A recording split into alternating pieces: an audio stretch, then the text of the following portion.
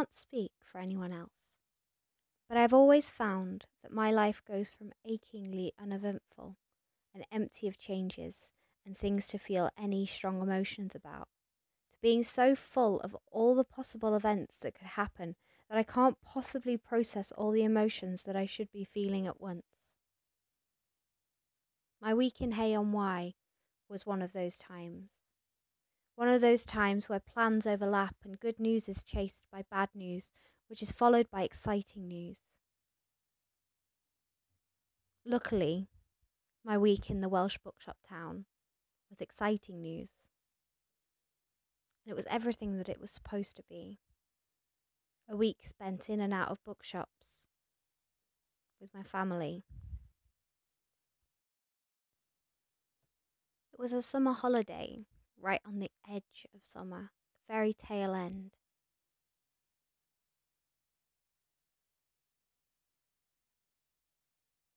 And it was in Wales. So I had my Docs and my denim shirt and my jeans. I even had a scarf and a cardigan and a raincoat. But it's but the rain and the slight cold. Well, that makes it a proper British family holiday, doesn't it? I guess.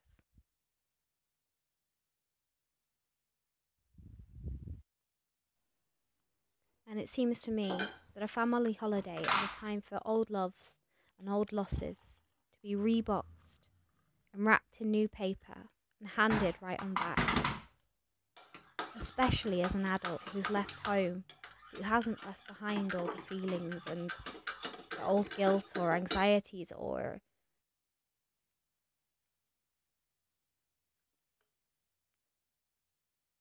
things that I was excited about and interested in. I suppose most of us regress in some way to our younger selves when back with family we haven't seen in a while.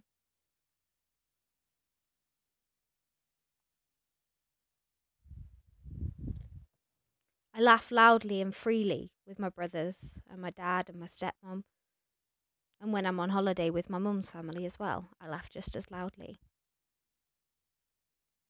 I won't lie. There were times when I felt anxious for the control that I have when I'm living on my own where I live now. But we all do once we've left home, I think. And it doesn't make it any less magic and lovely and special to see your family again.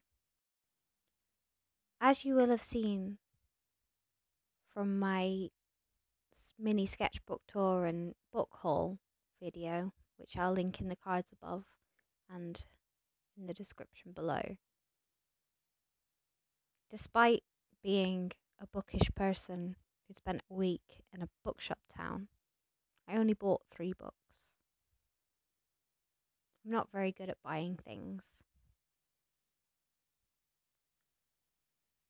I'm very good at talking myself out of buying things, but I'm not very good at actually buying things. So I'm quite proud of myself for buying the three books I bought.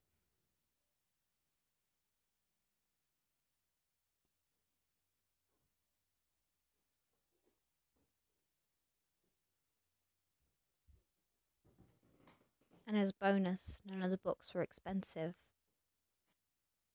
So I was able to buy them without worrying too much about dipping into savings and I'm also proud of myself for managing to find time to do half a page in my sketchbook every day.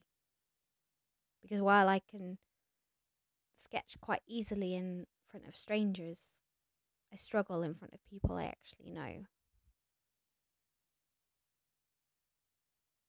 So getting my sketchbook out in front of my family is kind of a big deal for me.